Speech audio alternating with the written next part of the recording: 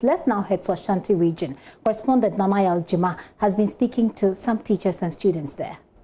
So, in all schools, according to the head teachers, um, they've received all supplies to help ensure that the protocols are well adhered to. Um, I'm currently in Opoku Ware School, and here the dormitories and also classrooms have been decongested to be able to accommodate the students who are coming in. I have with me here the, the head teacher of the school, Reverend Father Stephen Osuseche, who will be updating us on what they've been able to do so far in regards to COVID 19 protocols. Um, as you know, students are coming they started coming around 7 a.m. this morning, and uh, we were ready by 6 o'clock to receive them. We had received all the necessary PPEs yesterday. So, uh, around 6 o'clock, 6 p.m., we had everything. We spent time to um, put them together. And then this morning, teachers started coming first. Around six teachers were here.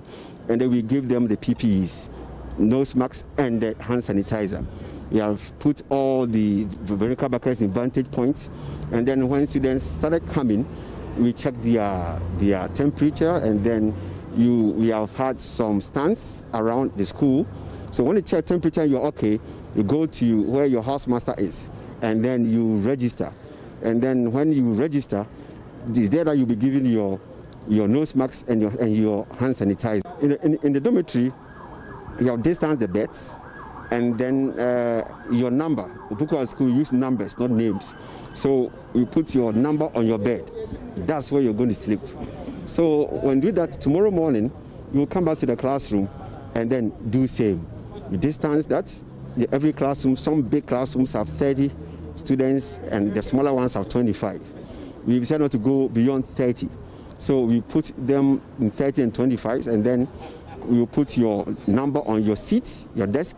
That's where you will sit for classes and for prep.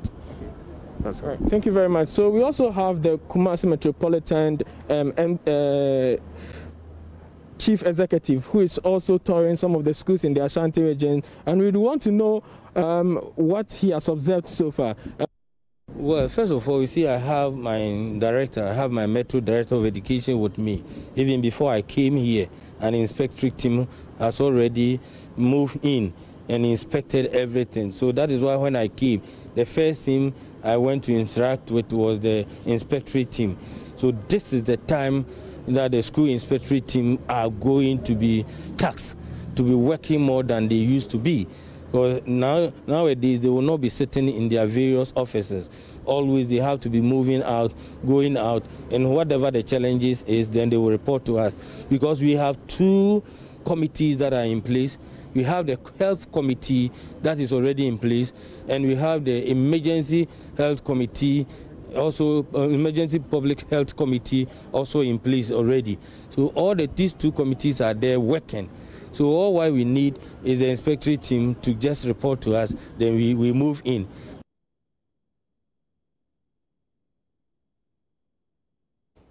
So, did you go to school? Or if you are a parent, did your children go to school? Let me connect with my colleague Nanaya Jima for more of what he found on the ground. Hello, Nanaya.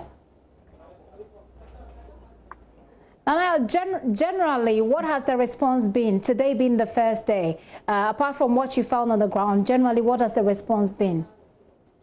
So, moving from um, school to school in the Ashanti region, um, parents, some parents are willingly bringing their children to school, but the numbers are not as huge as you expect when school reopens, especially when um, um, students or wards have been home for more than two months, even though um, their academic um, calendar is not yet ended. And parents are reluctant to bring their wards to school. Some of the wards or some of the students are excited that they are back in school, especially the final year students, because they've been looking forward to this day for very long.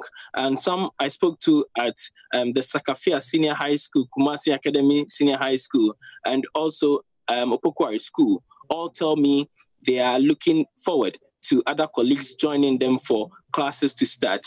And some of them are excited about the protocols that have been put in place to ensure that um, to, to check the spread of COVID 19.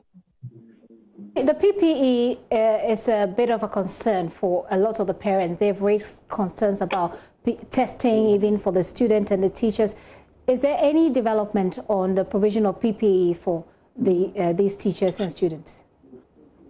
So at Opoku Ware School, for instance, I saw students being handed um, PPEs, that's the locally manufactured ones, two per student, and also um, some were given, or all of them that I saw were given hand sanitizers. And um, uh, uh, so when you walk in, your temperature is checked, you check for your name on a board. And um, for the new room you've been allocated to, because uh, there, there, have been changes in the structure uh, now.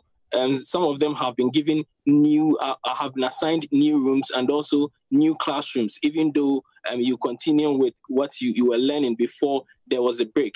So you have to check all these things. You walk to another table where you are given a PPE, that's the nose mask, too, and also a hand sanitizer before you are shown your new room and the beds you are allocated to. So um, PPEs are not much of a challenge in the schools that I visited. According to um, the headmasters that I spoke to, they've received all items that government promised to give them.